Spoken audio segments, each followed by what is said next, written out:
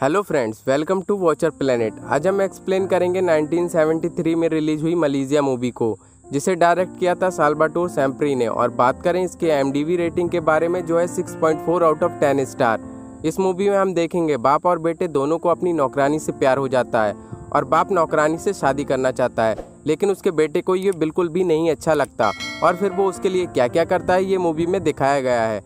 Movie के start होते ही हम एक फ्यूनरल को देखते हैं। और ये फ्यूनरल इग्नाजियो की वाइफ का होता है। इग्नाजियो के तीन बेटे भी होते हैं, जिसमें सबसे छोटे बेटे का नाम एनजीओ होता है, दूसरा बेटा नीनो और तीसरा बेटा नूसियो। इग्नाजियो की वाइफ के गुजर जाने के बाद ये चारों अकेले रह गए थे। फिर इग्नाजियो एंजेला नाम की नौकरानी को रखता है, जो काफ़ी खूबसूरत होती है। एंजेला काफ़ी हार्ड वर्किंग होती है और वो चारों का बहुत ख्याल रखती है। इग्नाजियो के दोनों बेटे नूसियो और नीनो एंजेला की तरफ़ अट्रैक्टेड होने लगते हैं। एक दिन नूसियो एंजेला के साथ फ्लर्ट करता है लेकिन एंजेला को ये सब पसंद नहीं था। इसके बाद हम देखते हैं नीनो अपने दोस्त पोर्सेलो को भी एंजेला के बारे में बताता है और वो भी एक्साइटेड हो जाता है। इसके बाद एंजेला को किचन में डेली एक गुलाब मिलने लगता है, जिसे नीनो छुपा कर रखता था। फिर एक दिन फुटबॉल खेलते समय नीनो कांच के टुकड़े पर गिर जाता है, जिससे उसके थाई पर चोट लग जाती है।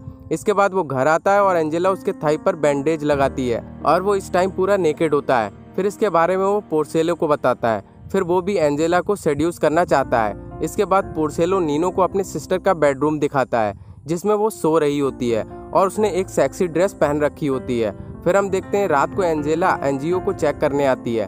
तब नीनो उसे देखता है कि उसने एक ट्रांसपेरेंट ड्रेस पहन रखी है। इसके बाद वो एंजेला को किसी भी कीमत पर नेकेट देखना चाहता था। अगले दिन नीनो को स्कूल न जाना पड़े, जिसके लिए वो बीमार होने का बहाना बनाता है। लेकिन एंजेला को पता चल जाता है कि वो ड्रामा कर रहा है। वो उससे पूछती है कि वो स्कूल क्यों नहीं गया, लेकिन नीनो कोई जवाब नहीं देता। इसके बाद एंजेला काफ़ी ऊंचाई पर चढ़कर एक विंडो साफ़ कर रही होती है और उसने एक छोटी सी स्कर्ट पहन रखी होती है, जिससे उसकी बैक दिख रही होती है, जिसे इग्नाजियो देख लेता है और वो उसे घूरने लगता है और वो भी एंजेला की तरफ़ अट्रैक्टेड हो जाता है। दूसरी तरफ़ नीनो भी ये नज़ारा देखकर मज़े ले रहा होता है। इसके बाद हम देखते हैं इग्नाजियो एंजेला के साथ शादी करना चाहता है और वो ये भी जानता है कि एंजेला सिंगल है। फिर इग्नाजियो का बड़ा बेटा नूसियो भी एंजेला को इम्प्रेस करने में लग जाता है, जिसकी वजह से उसे चोट भी लग जाती है। फिर एक दिन एंजेला देख लेती है कि नीनो ही उसके लिए गुलाब रख रहा है। फिर उसी दिन नीनो को किचन से कुछ आवाज़ें सुनाई देती हैं। जब वो वहाँ जाकर देखता है, तब उसे पता चलता है कि नूसियो एंजेला के साथ इंटीमेट होने की कोशिश कर रहा था और एंजेला मना कर रही थी। इसके बाद नीनो नूसियो से भिड़ जाता है और वो दोनों लड़ने लगते हैं। एंजेला उन दोनों को रोकने की कोशिश करती है। लेकिन वो दोनों नहीं रुकते। तब एंजेला वहाँ से चली जाती है, क्योंकि नूसियो जानता था कि नीनो भी एंजेला को लाइक करता है।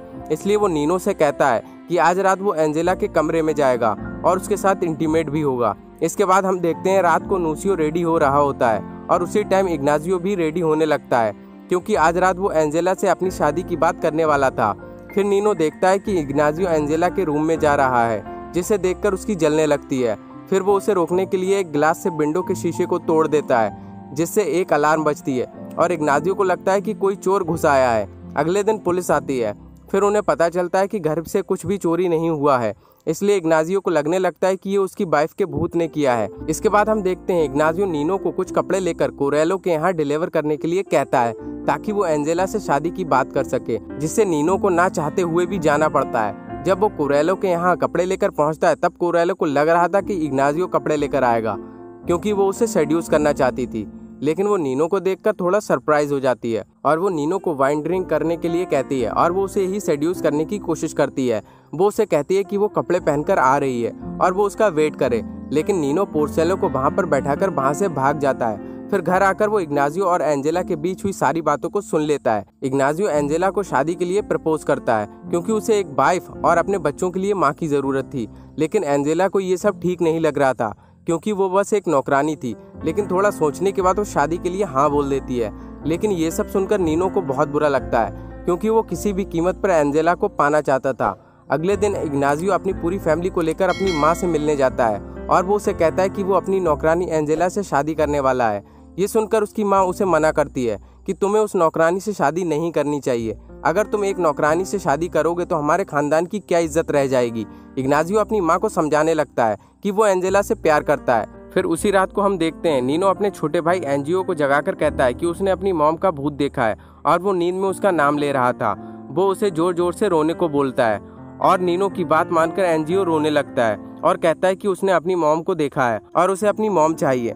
जिसकी आवाज़ सुनकर एंजेला वहाँ पर आ जाती है, लेकिन फिर भी वो रोना बंद नहीं करता।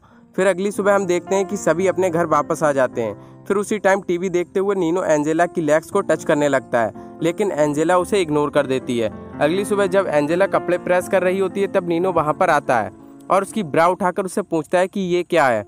तब एंजेला उस पर चिल्लाकर कहती है कि उसे सीधा बनने की ज़रूरत नहीं है। वो जानती है नीनो कितना चोदू है और उसने उसके कमरे में एडल्ट मैगजीन भी देखी हुई हैं। फिर रात में नीनो फिर से एनजीओ को जगाने की कोशिश करता है, लेकिन इस बार वो नहीं उठता।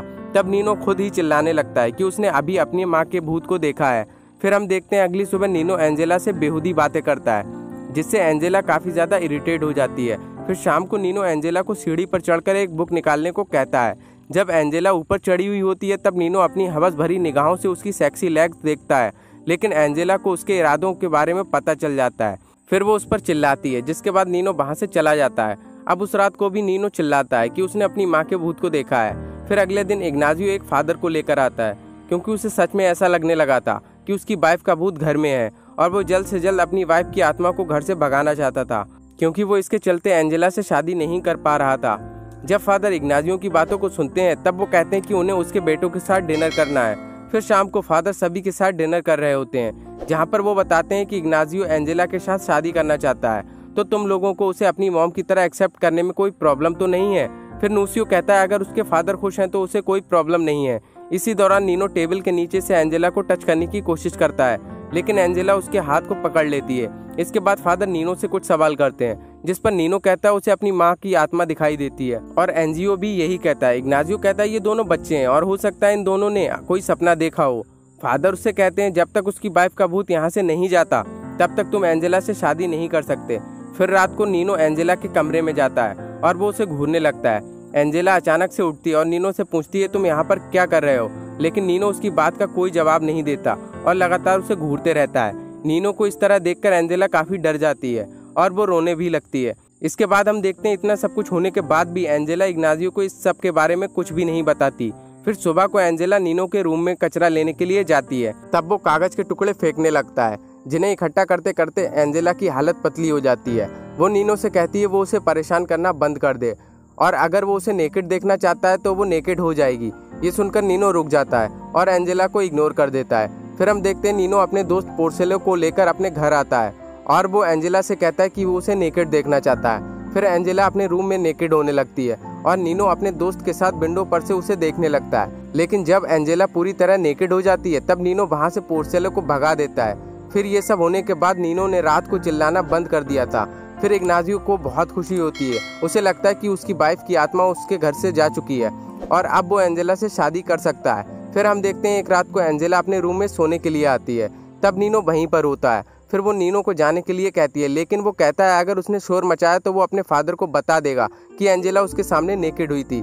फिर उसी टाइम इग्नाजियो उसके डोर पर आ जाता है, जिसका फ़ायदा उठाकर नीनो एंजेला को टच करने लगता है। फिर मजबूरी में एंजेला उसे कुछ भी नहीं बोलती और नीनो जाने से पहले उसे कहता है कि उसे उसका एक काम करना होगा। अगले दिन नीनो की बात मानकर वो इग्नाजियो को सेड्यूस करने लगती है। ये सब देखकर इग्नाजियो अपने आप को कंट्रोल नहीं कर पाता। और वो एंजेला के साथ ज़बरदस्ती इंटीमेट होने की कोशिश करता है। एंजेला उसे मना करती है, लेकिन वो नहीं सुनता। फिर एंजेला उसे एक थप्पड़ मार देती है। इसके बाद इग्नाजियो अपने किए के लिए शर्मिंदा होता है और उसे सॉरी कहता है। नीनो को लग रहा था ऐसा करने से उनके बीच में झगड़ा हो जाएगा, लेकिन ऐसा कुछ भी नहीं होता और उसका ये प्लान भी काम नहीं आता।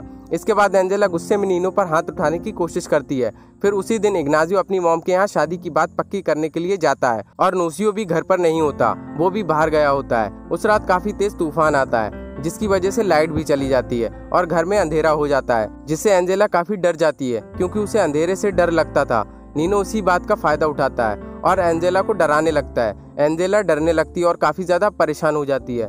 फिर नीनो उसे ब्लैकमेल करता है और उसे सारे कपड़े उतारने को कहता है, वरना वो उसे डराना नहीं छोड़ेगा। फिर एंजेला उसकी बात मान लेती है और सारे कपड़े उतार के नेकेड हो जाती है। तभी वो नीनो को भी पकड़ लेती है और उसके साथ इंटीमेट भी हो जाती है। इसके बाद हमें कुछ दिन आगे का सीन दिखाया जाता है, जिसमें इग्नाजियो एंजेला के साथ शादी कर रहा होता है। शादी के बाद एंजेला नीनो के पास आती है।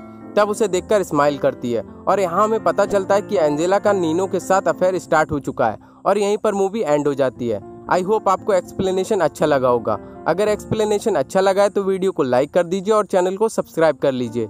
मैं मिलता हूँ आपसे अगले वीडियो में।